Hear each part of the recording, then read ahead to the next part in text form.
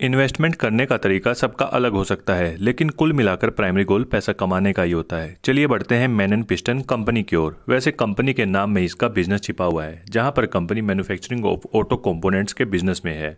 Customer base भी company का काफ़ी अच्छा है, जिसमें टाटा मोटर्स, मारुति सुजुकी जैसी बड़ी कंपनी के नाम शामिल है। शेयर का करंट मार्केट प्राइस 49.1 इसका आर एस आई जो कि अभी मिड जोन में ही दिखाई देता है।